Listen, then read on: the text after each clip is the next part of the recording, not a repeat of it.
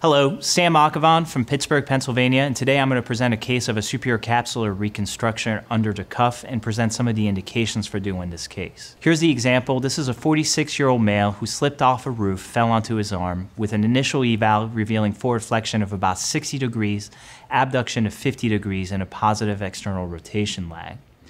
On his initial MRI, we saw a large retracted acute tear of the supra and infraspinatus, and his biceps tendon was found to have a partial tear and to be dislocated. The problem was when he came back for his MRI review, while his exam was unchanged and we were ready to proceed with surgery, he let us know that he had to wait due to work issues for about three months until he was ready to have surgery.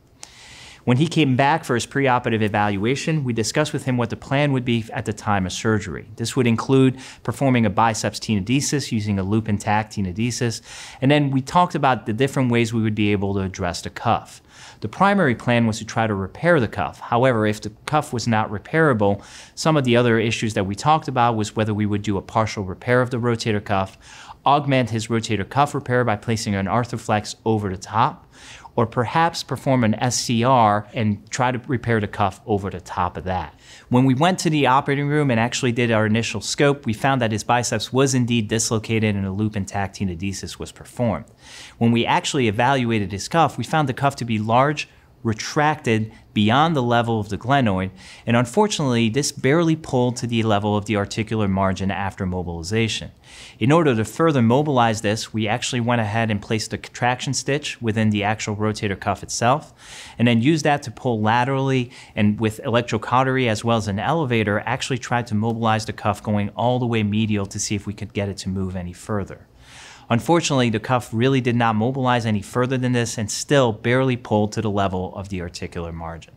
At this point, we had several options in terms of what to do with our repair. One option would be to perform a single row repair to the articular margin.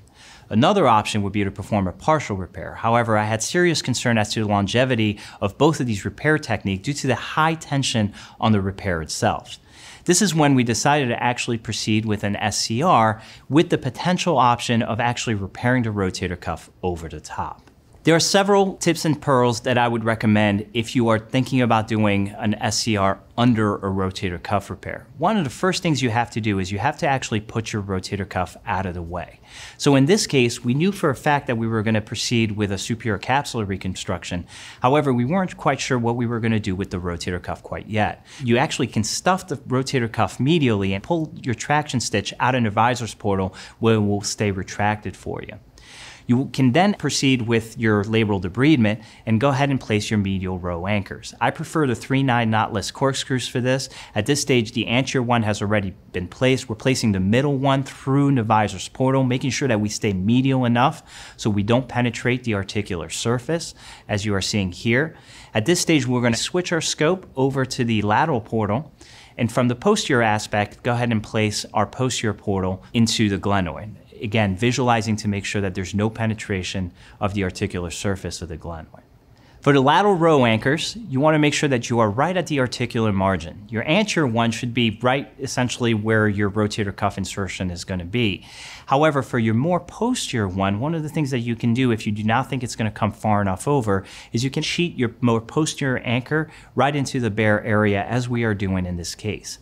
Occasionally, what I've done in cases where the cuff will not completely reduce is I've actually put an even more posterior anchor and used that to actually reduce the cuff prior to doing my rotator cuff repair or my SCR repair. Some tips and pearls for graft preparation, if you're going to do a superior capsular reconstruction under the cuff, is you want to make sure that you cut your graft slightly smaller than usual.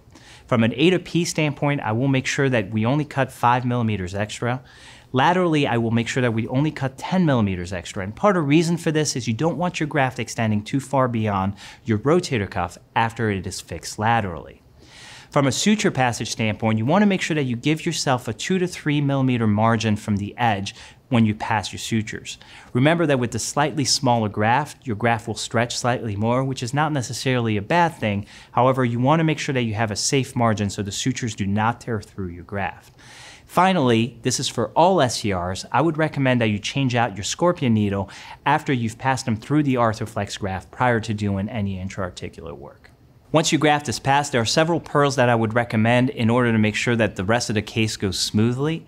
First of all, you're going to tension your graft medially, but then tension it again. You can see here that we have our cuff retracted back with the suture actually being pulled through the Neviaser's portal. We have passed our lateral sutures through the graft, but we're now going to remove them from the cannula through the poke holes that we use to actually place the anchors so that we have a good working portal through our passport cannula. At this stage, what you're going to notice is that the graft can be tensioned a little bit more, so we're going to go ahead and do this prior to cutting our sutures. And this is one of the key aspects. Once you're going to reduce your cuff over the top of this, your sutures will not be visible anymore. The other thing is the sutures can actually get in the way of you reducing your cuff, so you want to make sure that you cut them prior to the next step of the procedure. One of the key aspects that you're going to find at this point is that the cuff actually will pull over laterally significantly more than it did at the beginning of the case.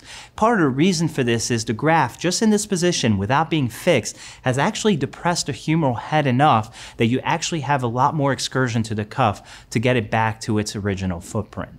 At this stage of the game, you also want to make sure that you fix your graft to the posterior cuff. Again, once your rotator cuff has been pulled over, you are not going to be able to see this aspects to be able to do your repair. So now is the time to do it. I typically will make sure that at this point, my again, my scorpion needle has been changed from the scorpion needle that I used for initial passage of the sutures through the Arthroflex graft. I will look from lateral, come in from my posterior portal using a scorpion to pass the sutures, and then tie anywhere between two to three sutures posteriorly in order to reduce the posterior cuff to the graft. This is a very important aspect of it if you want to try to reduce external rotation in the patients, uh, and I would make sure that you do that in all of your patients. At this point, we're going to pass our sutures through the rotator cuff. You want to make sure that you do not pass these sutures too medial.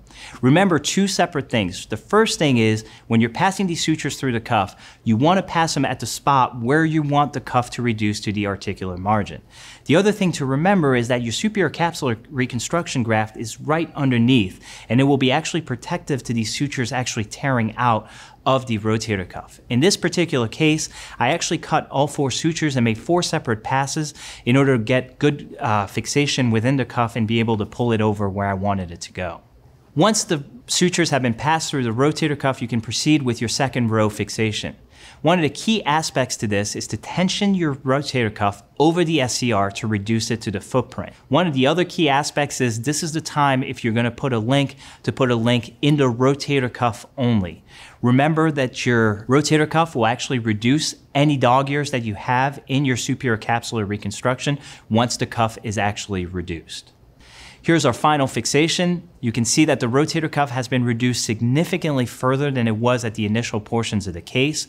The SCR is underlying the rotator cuff repair with excellent fixation over the top. Postoperatively, while these patients will do very well, I would strongly recommend to you to use your large cuff protocol, whatever that happens to be. For me, this includes immobilizing the patients for a period of two to three weeks, followed by passive range of motion only for six weeks, followed by active range of motion until 12 weeks, and no strengthening until the 12 week mark. I typically will quote to these patients six to nine months before return to full activities. Typically, the nine months is more for laborers, as I typically will request a little longer time for these patients. Our experience to date has been with four patients ranging in age from 46 to 63 years old that had this uh, procedure performed. This is actually the 46 year old who came into clinic at six weeks, having taken off his sling already. Uh, as you can tell, he is able to raise his arm above his head. I very quickly told him not to do that, but I didn't obtain a video first before telling him not to do that anymore. In most cases, because of the biomechanical advantage that the SCR provides under the cuff, I'm actually much more comfortable with these patients with allowing them to progress. In conclusion, if you're going to do a superior capsular reconstruction under the cuff, remember that this is a true no harm, no foul procedure. You're doing a superior capsular reconstruction anyway. If your rotator cuff will pull over, go ahead and pass your sutures through and repair it over laterally. It provides you a biomechanical advantage over the standard techniques we've done in the past, including both single row repairs with knots as well as partial repairs, and is a great option when the cuff will reduce just short of the articular margin. Thank you.